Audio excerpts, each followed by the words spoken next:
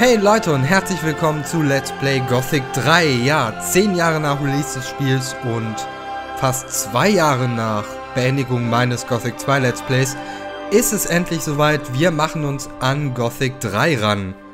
Ähm, ich habe zusätzlich zum Spiel noch installiert die neueste Version des Community Patches, weil ohne geht nicht. Äh, die Content Mod und das Quest Paket, beides ohne Sprachausgabe. Schöne Dinge auf jeden Fall. Und bevor wir der Schläfermaske hier zu lange in ihren dunklen, finsteren, gemeinen Bann fallen, würde ich sagen, fangen wir ein neues Spiel an. Äh, mit alternativen Balancing, das macht es kurz gesagt ein bisschen herausfordernder, ja. Und Content Mod, genau. Gothic 3. Das Spiel mit den Ladebildschirmen, die ihr ab diesem Moment nicht mehr sehen werdet. Aber den ersten Ladebildschirm muss ich euch noch zeigen, denn der erste Ladebildschirm im Leben ist immer etwas sehr Besonderes und Mitreißendes. Fühlt ihr nicht, wie er euch in seinen Band zieht? Und in zehn Jahren werdet ihr ihn euch nochmal ansehen und werdet denken, wow, das waren Zeiten. Das waren Zeiten. Was laber ich eigentlich für einen Schwachsinn? Anscheinend fange ich ein neues Let's Play an oder sowas.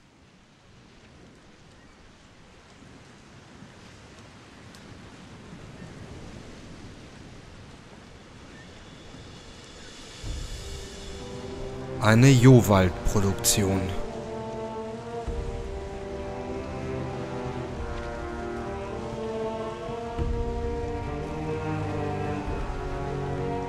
Ein Piranha-Bisse-Spiel.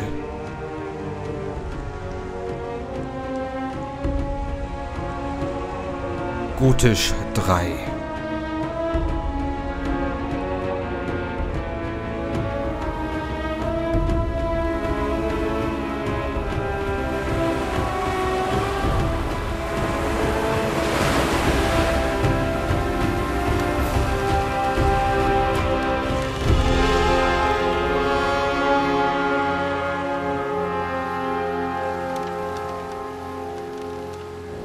Scheißendreck.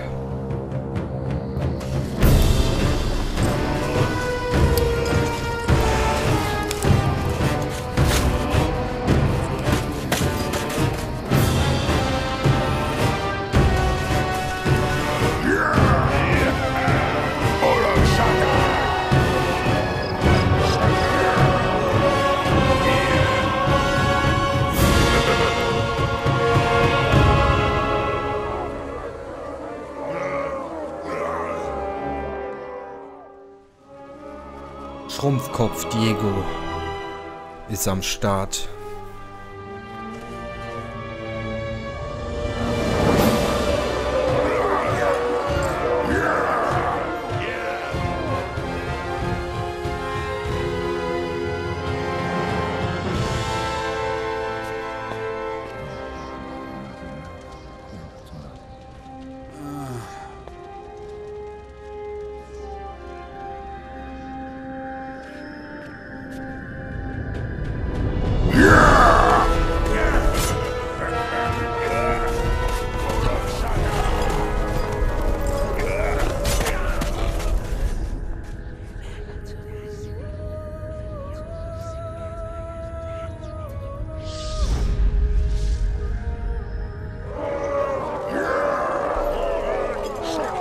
Weil das mit magischen Barrieren bisher immer so eine unglaublich gute Idee war,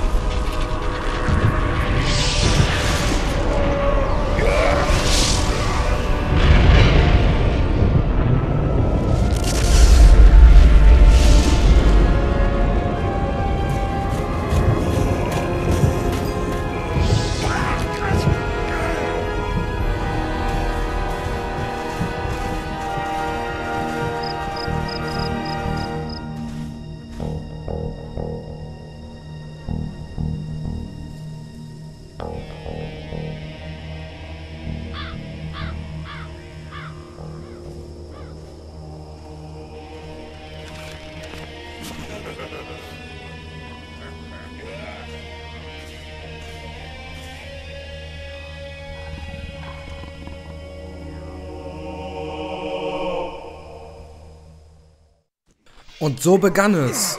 Hey, ein großer Kampf findet statt. Am unteren Bildschirmrand befindet sich die Schnellleiste. Ja, danke schön, ich möchte keine Tipps mehr sehen.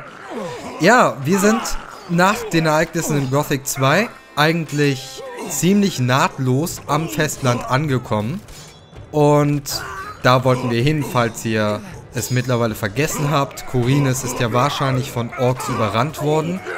Wir dachten uns, och, äh, warum hier bleiben, wenn es doch in der Ferne viel schöner ist? Und da sind wir jetzt. Aber hier ist es auch nicht wirklich schöner. Die Orks scheinen zumindest ziemlich gut bei der Sache zu sein im Krieg der Menschen gegen die Orks. Um nicht zu sagen, sie scheinen gewonnen zu haben. Und wir müssen uns hier irgendwie durchsetzen. Wir sind auf diese komische Siedlung getroffen und, naja, hier warten ein paar der schleimigen Halunken bereits auf uns. Nein! Du hast mir die EP von dem Megamods geklaut. So begann eine epische Reise. Mit EP-Stealing. Wie er mir halt einfach die EP geklaut hat. Ein stinksauer. So, äh, kämpfen gegen die Orks ist am Anfang immer etwas fummelig, weil wir hier doch gegen recht viele Gegner kämpfen, die sich ziemlich unvorhersehbar dafür entscheiden, uns entweder zu schlagen oder es gerade nicht zu tun. Aber wir haben unsere Freunde mit dabei, die uns helfen. Diego, Milton, Lester, Gorn und ein paar andere. Diego in dieser Version auch ohne Schrumpfkopf. das ist in der Tat etwas Besonderes zu sonst. Ich nehme direkt noch einen Heiltrank. Ich habe keine Lust mehr auf dem Boden zu liegen. So muss dieses LP nicht beginnen. Oh, danke. Wenigstens kriege ich von dem die EP. Nein! Jetzt!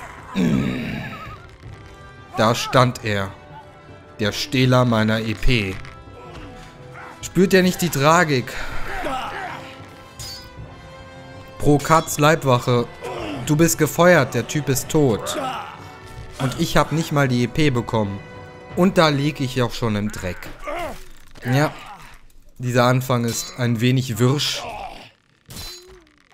Ein wenig wirr, besser gesagt. Oh Gott, Armbrustschütze hat uns entdeckt. Ich gehe mal in dieses Haus hier. Wahrscheinlich könnte ich mich jetzt in ein Bett legen und so kostenlos regenerieren, aber Leute, äh, nein. Sowas machen wir nicht. Oh mein Gott. Na, Sklavenjägerlein. Nur du und ich, okay? Aber ich bin etwas ungehalten, weil ich genau weiß, dass mir der fette Koch hier gleich die EP stehlen wird. So macht man das, genau. So kriegt man EP, indem man dir einfach deine wegnimmt. Eigentlich waren es ja seine. Okay, sonst noch was hier? Oh ja, da oben finden Tänze statt. Hier ebenfalls. Gorn hält uns den Rücken frei. Das ist gar nicht Gorn, das ist Lee. Ich habe gerade Gorn und Lee vertauscht.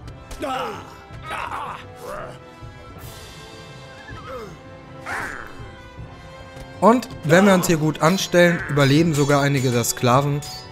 Das ist recht schön, aber muss nicht sein. Boah, danke. Rückzug! Rückzug! Wir könnten dem jetzt unendlich lang lauf, äh, nachlaufen. Aber das müssen wir nicht. Ich glaube, sobald er verschwindet, kriegen wir seine EP. Ja. so sollte das immer sein in diesem Spiel. Ihr lauft weg und ich krieg eure EP. Nach mehr frage ich eigentlich gar nicht. Können wenigstens meine sogenannten Freunde mir die EP nicht mehr klauen. Ja, wir sind schwer verletzt, legen uns erstmal hin und äh, fragen dann morgen nach, was los ist, würde ich sagen. So, so ist es ein wenig besser, ein wenig heller. Das hier ist ein Dorf namens Ardea und wir haben es befreit, oder? Haben wir? Reden wir erstmal mit unseren Kumpels. Die da wären... Was hast du getan? Die Orks hätten uns am Leben gelassen. Jetzt werden noch, noch mehr von ihnen kommen. Mein Synchronsprecher ist gerade gestorben. Du musst Wachen für das Dorf finden. Ja, also anscheinend meint er jetzt so, hey Junge, die Orks, das war gar nicht so, gar nicht so schlecht mit den Orks, die waren voll okay. Und wie einfach nur so, sag mal, hast du, hast du Sumpfkraut geraucht? Hast du vom Sumpfkraut pur genascht? Aber ähm, die Orks, die wir hier in Gothic 3 treffen, sind nicht ganz so krass drauf wie die aus Gothic 2. Die aus Gothic 2 waren eher wie Tiere, die Menschen höchstens verstümmelt haben. Die in Gothic 3 sind ein bisschen zivilisierter und halten sie nur als Sklaven. Äh, du hast gut gekämpft.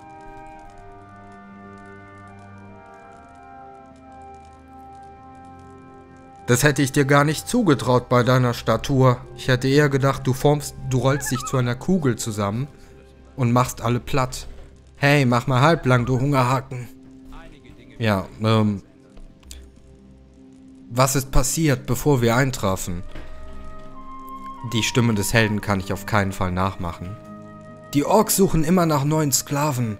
Adia war bis vor kurzem noch frei. Und jetzt wieder. Frei von Orks, aber leider auch frei von Rebellen. Das klingt irgendwie komisch. Die Orks kamen einfach her und haben das Kommando übernommen. Sind die böse? Arbeitsfähige Bauern, Schmiede, Alchemisten und einfache Bewohner wollten sie mitnehmen. Wohin, wohin bringen sie die Sklaven?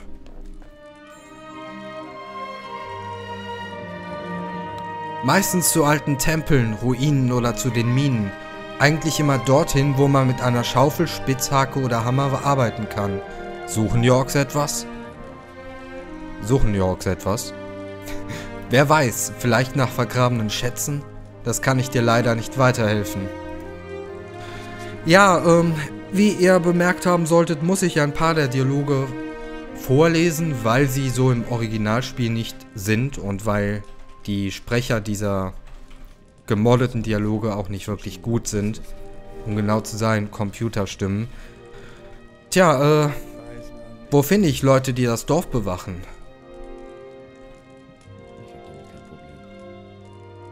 Ein paar Tage vor euch ist ein gut bewaffneter Mann ins Dorf gekommen. Er heißt Tristan. Die Orks haben ihn auch versklavt, aber er ist noch hier. Vielleicht weiß er, wo du Männer auftreiben kannst. Männer findet man meistens da, wo man auch freien Frauen findet, im Puff. Tut mir leid, wegen... Punkt, Punkt, Punkt. Schon gut, auch wenn es nicht so aussieht. Es sind fast alles Muskeln. Ja. Wo kommst du eigentlich her und warum siehst du so abgemagert aus? Ich? Ich komme aus Kurines. War eine lange Reise mit dem Schiff und ich mag keinen Fisch. Tja, und da hat unser Held sich davon ernährt, dass er einfach ins Holz gebissen hat. Wir haben dir viel zu verdanken. Ja, ja. Aber Holz ist nicht allzu nahrhaft. Ja, und die ganzen Zusatzinfos waren jetzt praktisch optionaler Zusatzcontent. Normalerweise hat der Mensch erstaunlich wenig dafür zu sagen, dass wir gerade seine, sein Dorf befreit haben. Hey Junge. Wie in alten Zeiten, was? Die Orks hatten nicht viel drauf. Ich schätze, es gibt noch härtere als die. Was ist mit Lester? Wollt er nicht Verstärkung holen? Wann hat er das gesagt? Hi Diego. Ha, da sind wir mal wieder in eine schöne Geschichte geraten. Was ist hier passiert? Die Orks haben ganz offensichtlich den Krieg gegen König Robar gewonnen. Und jetzt fegen die Orks über das Land und versklaven die Menschen. Aber was mich gerade viel mehr interessiert, was ist mit Lester? Lester ist unglaublich interessant. Ähm, Nochmal zur Rekapitulation der Story. In Gothic 1 ging es darum, dass der König, um den Krieg gegen die Orks zu gewinnen, diese Minenkolonie aufgebaut hat, wo wir das magische Erz für die Waffen des Königs raus gekratzt haben. Aber die Minenkolonie haben wir höchstpersönlich ja dann in die Luft gesprengt. In Gothic 2 ging es darum, dass der König einige Paladine vom Festland aus nach Korines gesandt hat, um doch irgendwie noch an Erz zu kommen. Aber, ihr wisst noch die magischen Worte, diese Expedition ist zum Scheitern verurteilt. Bam, bam, bam. Ohne die Soundeffekte. Und hier in Gothic 3 sind wir jetzt auf dem Festland und offenbar haben aus irgendwelchen Gründen die Menschen den Krieg verloren. Tja, Hamilton. Wer war dafür wohl schuld? Ich kann mir nicht helfen. Ich mag die Orks nicht. Ach Was so. ist eigentlich mit Lester? Er wollte doch Verstärkung holen. Meine Runen haben ihre Kraft verloren. Ich denke, den anderen Feuermagiern ist es nicht anders ergangen. Ich werde mich aufmachen und versuchen, die alte, wahre Magie zu erlernen. Wovon redest du? Bevor es Runen gab, konnten nur sehr wenige, sehr mächtige Menschen Magie wirken. Das Wissen darum muss irgendwo zu finden sein. Ich werde es suchen. Auch eine großartige Idee, die Magie, die normale Magie, die wir zum Beispiel als Feuermagier in Gothic 2 gelernt haben über die Runen, ist sozusagen plötzlich einfach nicht mehr da. Und das war natürlich ebenfalls ein großer, großer Nachteil im Kampf gegen die Orks. Ich komme mit. Wir sollten getrennt suchen. Finde du Xardas. Wenn einer was über die Magie weiß, dann er. Wir werden uns wiedersehen. Da bin ich mir sicher. Also, viel Glück. Pass auf dich auf, Milton.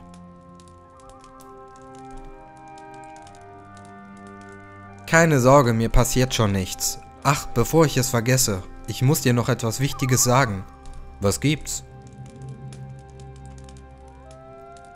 Hör zu, wir haben schon viel erlebt, wirklich viel. Und ich wollte dir meine wahre Liebe gestehen. Nein, erst die riesige magische Barriere, dann die Drachen und zu guter Letzt das sagenhafte Irdorat. Ja, es ist einiges auf dieser Insel passiert. Das Problem ist, ich glaube nicht, dass wir nun eine komplett neue Geschichte erleben. Das ist das Problem an Gothic 3 oder wie?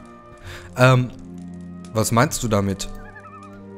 Kannst du dich noch an die vielen Dracheneier im Minental erinnern? Natürlich kann ich mich daran erinnern. Ich vergesse nichts. Wie heiße ich nochmal? Berechtigte Frage an der Stelle. Äh, das ist gut. Dann brauche ich die alte Geschichte nicht wieder aufrollen. Wie meinen Teppich. Worum geht es nun? Der Punkt ist der Punkt. Wer hat uns damals garantiert, dass nur auf der Insel Dracheneier verstreut wurden? Meinst du, es könnte auch hier Drachen geben? Ich meine erstmal gar nichts. Es ist nur ein böser Gedanke. Belia, Belia, hat auch hier Einfluss. Es wäre sicherlich möglich, dass bereits Drachen geschlüpft sind. Muss ich dann auch hier auf Drachenjagd gehen? Drachen brauchen sehr lange, um zu ihren vollen Mächten zu kommen. Die Drachen des Minentals waren bereits uralt. Wenn es nur auch hier welche geben sollte, werden es wahrscheinlich junge Exemplare sein. Macht sie das deswegen harmlos oder gar zu Haustieren? Nein, natürlich nicht. Es sind immer noch Drachen, wenn auch etwas kleiner.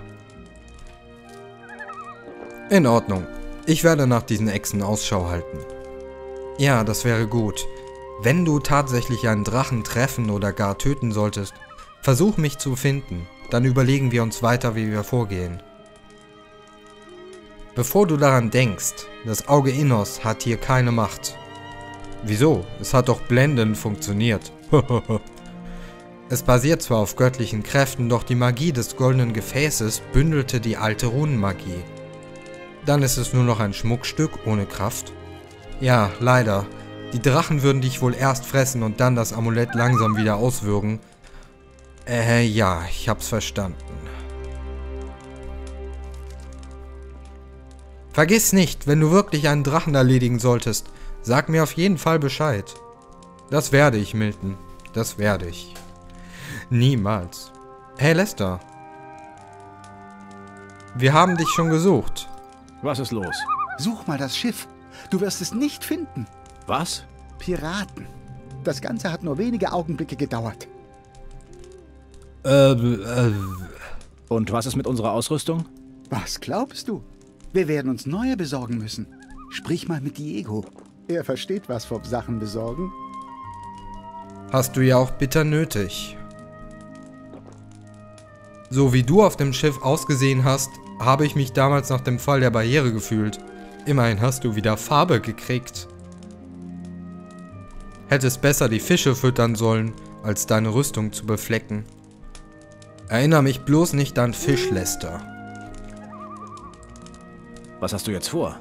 Ich werde mich nach Süden durchschlagen. Wir werden uns doch wiedersehen, oder? Davon gehe ich aus. Ja, hab ich auch mal was zu labern während der Dialoge.